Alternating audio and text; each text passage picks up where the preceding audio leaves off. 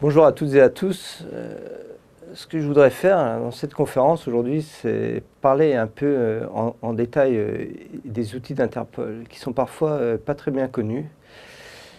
Et pour vous montrer en quoi ces outils font d'Interpol une, une, organisation de coopération, non seulement de coopération policière, c'est pourquoi elle est connue, mais également en partie une organisation de coopération judiciaire. Donc Interpol euh, a mis en place euh, au fil des années un certain nombre d'outils euh, pour, pour faciliter la coopération entre les services de police de ces pays membres. donc ces outils